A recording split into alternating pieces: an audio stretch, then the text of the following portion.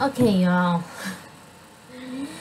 I saw the tweet and um, Alexandra's um, response to Ben Shapiro's um, challenge and her for debating him. She obviously I haven't said anything about her last name, but Alexandra Cortez. I can't say her middle last name. Middle name was Alexandra Cortez. She actually called Ben Shapiro's challenge a cat call. Um, one is challenging a debate and wanting to de give the money to her own campaign, a cat call.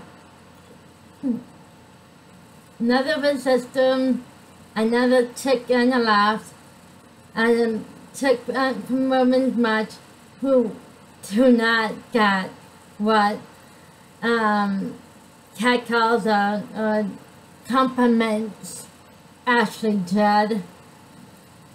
You can't even call Ashley Judd um, beautiful. You can't call him sweetie without her flipping off on you.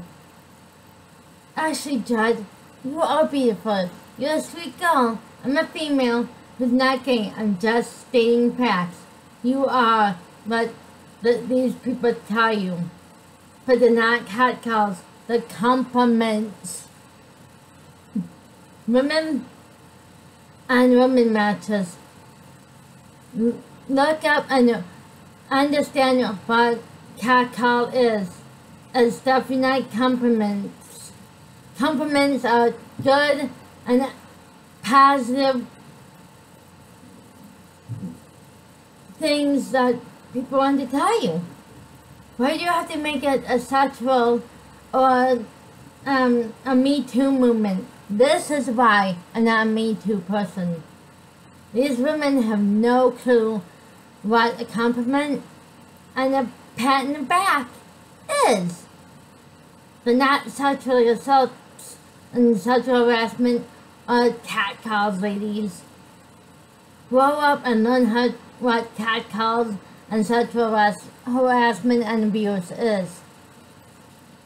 And what Ben Shapiro was not at all, nothing like a cat call.